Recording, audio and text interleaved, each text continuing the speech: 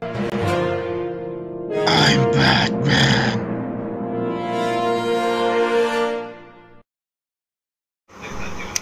ហេឡូប្រូអ្នកគ្នាស្វាគមន៍សាជាថ្មីមកកាន់វីដេអូថ្មីអូខេចឹងអ្នកនរគ្នាហានជួបគ្នា2ថ្ងៃមកហើយអឺ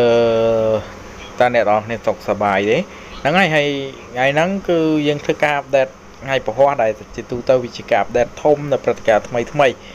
ប៉ុន្តែដូចយើងដឹងចឹងគឺអត់មានអីប្លែកអត់មានអីថ្មីទេលើកឡើងក្រៅពី free កញ្ចប់ iconic player ពីរកញ្ចប់គេថា iconic player ពីរកញ្ចប់ដែលគេ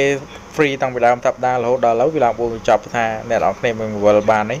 គឺខ្ញុំមានអារម្មណ៍ថា iconic ហ្នឹងពិបាកវល់មែនតើហើយបើ legend វិញគឺខ្ញុំប្រម៉ូអស់ហើយតង់បាល់ខ្មៅនៅតែប៉ាជីសុងហើយនឹងយ៉កមួយទេអឺហ្នឹងណា Eddie Cole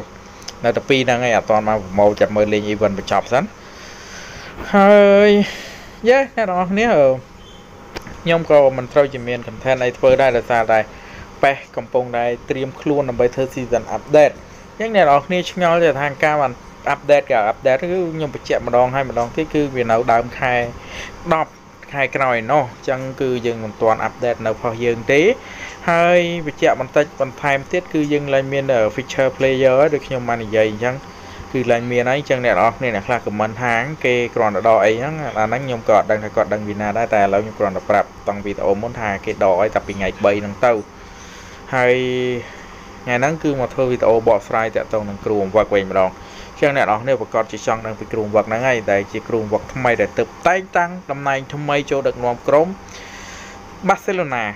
ចឹងគឺលោក Roman អាលោក Coman ចឹងអានខ្ញុំភ្លេចឈ្មោះគាត់ទៀតបាទ ចឹងធ្វើស្វិតថាគាត់ជាគ្រូបង្វឹកថ្មីប៉ុន្តែបទពិសោធន៍ដឹកនាំរបស់គាត់គឺច្រើនមែនទែនគាត់ធ្លាប់បានដឹកនាំអេវតុនបានយ៉ាងជោគជ័យមុនពេលផ្លាស់ដឹកនាំក្រុមជម្រើសជាតិហូឡង់តែម្ដងហើយបន្ទាប់មកចេញពីហូឡង់គេថាគាត់ដឹកនាំហូឡង់ឡើងមែនតើប៉ុន្តែបន្ទាប់មកគាត់ក៏ត្រូវបានបាសេឡូណាតាក់តងដោយសារតែគាត់ជាអតីតកីឡាកររបស់បាសេដែរអញ្ចឹងគាត់បានមកចូលរួមជាមួយនឹងក្លឹបបាសេឡូណាគាត់ទៅចូលមកព្រាមលក់ marketing លក់អីចេញខ្ទេចខ្ទីបាទ ហើយអ្នកនរគ្នាខ្ញុំជឿជាក់ថាអ្នកនរគ្នាប្រកាសជាមានគាត់ហើយអ្នកខ្លះក៏មានដែរក៏មានអ្នកខ្លះម្ដងពោខ្ញុំច្រើនមែនតើតកតងតម្រងគាត់ចាក់បន្តិចខ្ញុំមានតម្រងគាត់តម្រង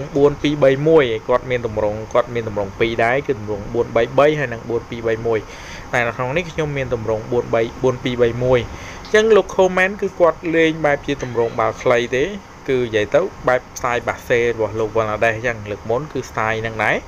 អញ្ចឹងលេងបាល់ខ្លីៗហើយធ្វើការប្រយុទ្ធទៅតំបន់កដាលហើយការប្រេះការអីគឺកប់សេរីមែនតើគឺប្រេះខ្លាំងខ្លាំងយកតែម្ដងហើយនឹងការបកមកវិញគឺយើងអាចផ្្លាត់នៅខាងស្លាប់ហើយការលេងការពីរបស់គាត់ក៏លេងបែប style ហ្នឹងដែរអ្នកនរគ្នាដូចគ្នាបេដាក់អញ្ចឹងគឺអត់មានអីពិបាកទេលោក comment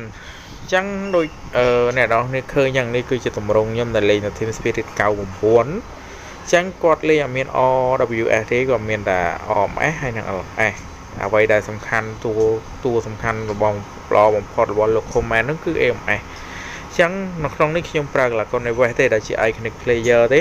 ដោយសារខ្ញុំយកយូបន្ទុះដោយសារក្នុងនេះល្អមែនតើប៉ុន្តែខ្ញុំជឿថាអ្នកដែលលេង Barca គឺតំណឹងគឺត្រូវដាក់ Messi ខ្ញុំទួស្គាល់គឺ Messi ល្អនៅចំណុចហ្នឹងចឹងនៅក្នុងនេះខ្ញុំលេងសុំដាក់ Neves សិនអ្នកនរគ្នាអាចដាក់ Messi បាន គឺ Messi AMS នៅទីនេះល្អមែនតើក៏ដូចជា Maradona Flickchen ក៏គាត់ AMS ល្អដែរថ្ងៃនេះគឺជាទម្រង់ដែលខ្ញុំលេងចឹងនៅទីនេះបើសិនបាន Lewandowski ល្អជាងអ្នកនរគ្នាខ្ញុំលេងចង់ដាក់ iconic លេងអញ្ចឹងខ្ញុំដាក់ Maradona អញ្ចឹងបើយើងលេងប្រយុទ្ធស្លាប់ខ្ញុំគួរថាជ្រើសរើសយកខ្សែប្រយុទ្ធណាដែលមានកម្ពស់ខ្ពស់ដែលប្រកែប្រើខ្មាល់ហ្នឹងល្អប៉ុន្តែក្នុងនេះខ្ញុំលេងបែបនេះក៏ល្អមួយយ៉ាងដែរគឺខ្ញុំលេងបែប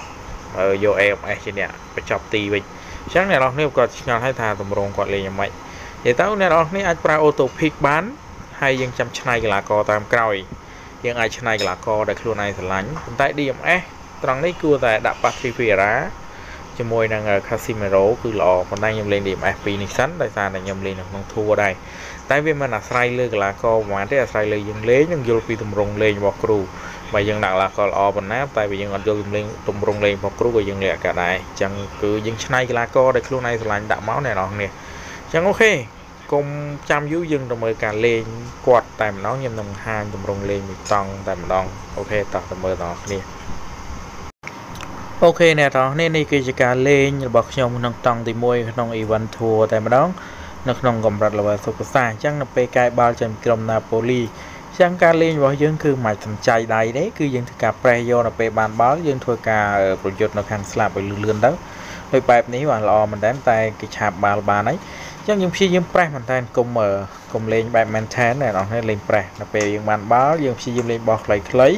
ជាពិសេសសម្លឹងមើល AMS ឲ្យបានច្រើនទៅពេលបានបាល់យើងសន្លឹងទៅដល់ AMS យើងសន្លឹងមកគៀនវិញទៅពេលមានឱកាសយើងក្រោះមួយអញ្ចឹងទៅបាទកាត់មួយអូបាទ ល្អមែនអ្នកចាំទីសង្គ្រោះបាល់បានអូខេបាល់ជ្រុងមកដល់ចំណុចបាល់ជ្រុងគឺយើងមិននិយាយទេគឺអាចចាត់ទុកថាវា50លើ50អញ្ចឹងទៅអ្នកនរគ្នាខាងនេះបាទអូ Neves Neves ល្អមែនដែរ overhead kick ស្អាតមែនដែរអ្នកនរគ្នា OK 1-0ងាយងាយទី10 OK អញ្ចឹងយើងចាប់ដើមលេងបន្តទៀតអញ្ចឹងយើងព្យាយាម press ទៅលើគូប្រកួតរបស់យើង ប៉ុន្តែការ press របស់យើងគឺអាស្រ័យលើកីឡាកររបស់យើងដែរបើយើងលេងបាល់ប្រាក់ក៏លេងបាក់លេងដែរយើងលេងបាល់ខ្មៅអញ្ចឹងវា press ទៅកម្លាំងគាត់ដល់អញ្ចឹងយើងលេងបន្តទៀតយើងធ្វើការ press ទៅពេលបាត់បាល់យើងព្យាយាមលេង build up ខ្លីៗកុំលេងបាល់វែងៗអញ្ចឹងយើងធ្វើការ press ទៅអ្នកនរគ្នាឱកាសបានមកឲ្យម៉ារ៉ាដូណាអត់ទៅរួចទេបាទនៅជាប់ជើងណាប៉ូលីដដែលអញ្ចឹងយើងធ្វើការប្រេះដដែលអ្នកនរ គ្នាចឹងប្រយ័ត្នប្រយែងនៅតំបន់ស្លាប់មែនតើកុំស្រូវទាញខ្សែកាពីស្លាប់ចូលបើទាញចូលវាអាចនឹងផុតផើយនឹងគេអាចនឹងចន្លោះប្រហោងទៅការវាយលុកមកយើងឃើញទេអ្នកតោះនេះសំបីណាប៉ូលីក៏ព្យាយាមលេងបុកនៅតំបន់ស្លាប់យើងច្រើនមែនតើចឹងឱកាសរបស់ Neves ដណ្ដើមបាល់បានហើយអ្នកនរលេងមួយគីកគីកគីកអូសិនអ្នកនរទៅមួយរួចមកឲ្យកង់ទេបាទអីយ៉ាខូចបាល់មកឲ្យ Neves វិញបាទ Neves បាទ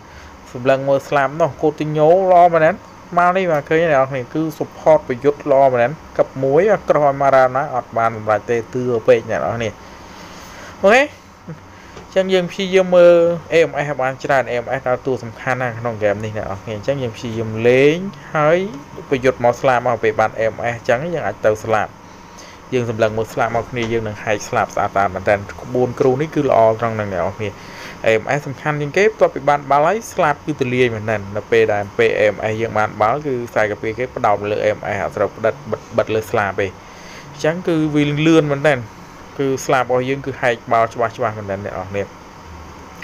ហើយយើងលេងគុំត្រូវបខំពេកអ្នកនរគ្នាលេងមួយមួយទៅបៀលបាល់ទៅមុខមិនបានថយក្រោយត្រង់នេះបាទបាទកូទីញ៉ូដាច់ដាច់មែន ស្អាតទេអ្នកនរគ្នាស្អាតមែនតើគោបាទគ្រាប់បាល់មួយគ្រាប់នេះជាគ្រាប់បាល់ល្អចាមែនតើអ្នកនរនេះគឺជាការលេងឡើងពាន់ធូជាមួយនឹងខ្សែប្រយុទ្ធហើយកាត់ទៅឲ្យខ្សែបំរើស្លាប់តែម្ដងបាទនេះបាទអត់មានអស់សាយទេអញ្ចឹងហើយបានគេហៅថាក្បួនគ្រូហ្នឹងគឺការវាយបកពីប្រយុទ្ធគឺមានន័យថាខ្សែបំរើស្លាប់យើងហ្នឹងរួចឆ្មក់ប្រយុទ្ធមែនតើអញ្ចឹងកប់សេរីមែនតើអញ្ចឹងខ្ញុំយកម៉ារ៉ាដូណានេះគឺមកមកសម្រាប់ថាបញ្ជូនបាល់ទេព្រោះទូនទីខ្សែប្រយុទ្ធរបស់លោក Coleman នេះគឺរៀងពិបាកលេងបន្តិចបើយើងមាន Lewandowski អីគឺល្អយើងលេង cross តែតែខ្ញុំដាក់ Maradona អញ្ចឹងគឺយើងកុំលេងយកគាត់ទៅតែក៏អត់កើតដែរអញ្ចឹងមានតែលេង support AMS វិញហើយនឹង support ពីការបម្រើស្លាប់អញ្ចឹងល្អមែនតើអ្នកនរគ្នាអញ្ចឹងអ្នកនរគ្នាអាចនឹងយល់ពីការលេងរបស់គាត់អញ្ចឹងបាទយើងលេងទៅមករួចបោះមកក្រោយ ហើយយើងព្យាយាមលេងមើល AMS ឲ្យច្រើនត្រង់នេះទៅមួយទៀតឲ្យ rank គេកឹបមួយសុទ្ធជ្រុលដៃបាត់ហើយអ្នកនរគ្នាអើយអូខេអ្នកនរគ្នាគឺ4លេងរបស់លោក comment គឺមានតែប៉ុណ្្នឹងទេគឺខំអ្នកនរគ្នានឹងលេងគាត់បន្ថែមនិយាយរួមលេងខ្លួនឯងមិនយល់ថាការលេងរបស់គាត់យើងគឺយ៉ាងម៉េចអញ្ចឹងលោក comment គឺខ្ញុំ recommend ឲ្យលេងនៅបុកនៅ AMS ឲ្យច្រើនហើយចាំចែកទៅស្លាប់វិញគឺតែប៉ុណ្្នឹងទេកុំតិចនិចរបស់ខ្ញុំហ៎អញ្ចឹង Messi គឺជាតំណែង AMF ល្អបំផុតហើយ ចឹងហ្នឹងហើយអ្នកនរគ្នាមានតែប៉ុណ្្នឹងទេខំអ្នកនរគ្នានឹងចូលចិត្តនៅវីដេអូមួយនេះ OK ចឹងជួបគ្នានៅវីដេអូបន្ទាប់ bye bye OK អ្នកនរគ្នាចឹងការ shout out ថ្ងៃនេះគឺបានទៅលើ